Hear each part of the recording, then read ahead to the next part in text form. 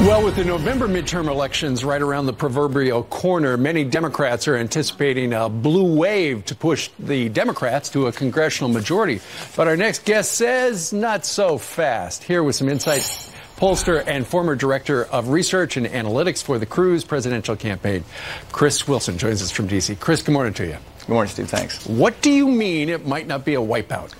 Well, if you look back at the special elections, Democrats had a lot of reasons for enthusiasm, but I'll just point to what happened in Georgia on Tuesday night, where Republican turnout was up 100,000 over what it was in a runoff in 2014 and up 30,000 over what the Democrats had in their primary. And Democrats are pointing to Georgia as one of their prime opportunities. I'll point to Texas, where Republican turnout was up, and Democrat turnout in their Democratic uh, gubernatorial primary was the lowest since 1920.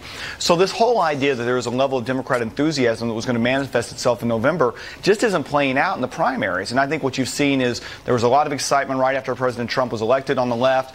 But as the, a lot of Democrats have seen, uh, Demo- people like uh, Ocasio Cortez and uh, Beto O'Rourke win nominations, they're pushing the party so far to the left that it makes it far more likely for them to be excited about what they've got, what their prospects may be moving forward. Because, Chris, it, the further the party goes to the left, what's the impact on the person who's thinking about voting for them?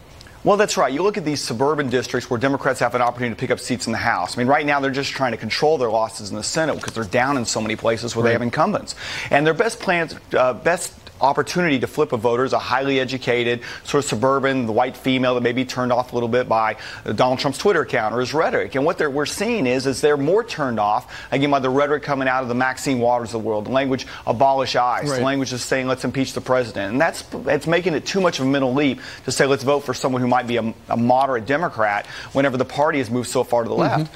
But even better, Steve, they're not nominating moderates. The people who are emerging right. from the Democratic primaries are far left Democrat candidates. It makes it really difficult for them to win these districts. Yeah, so it will be interesting to see because historically, the party in power doesn't do so well in the midterms after uh, a first time White House as uh, President Trump has that particular hand right now.